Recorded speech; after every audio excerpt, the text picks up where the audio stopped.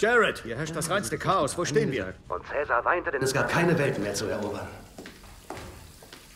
Shane? Shane? Tja, niemand kauft mehr CDOs oder Hypothekenanleihen. Alle wollen nur Swap. Swaps. Swaps sind jetzt das beliebteste Produkt auf der Straße. Das ist gut für uns. Ja und nein, ich habe von jemandem Jemandem gehört, der von jemandem gehört hat. Nein, Alex? Nein. Entschuldige. Benny Klieger von Morgen. Soll mit seiner Anleihenabteilung schwere Verluste eingefahren haben. Es wäre eine gute Zeit, die Rettungsweste rauszuholen und von Bord zu gehen. Ich habe das Gefühl, als würde ich finanziell bei dir drinstecken. Ich bin spitz. Ich bin spitz, was sind die Ketten? Gut. Fühlen Sie das? Nein.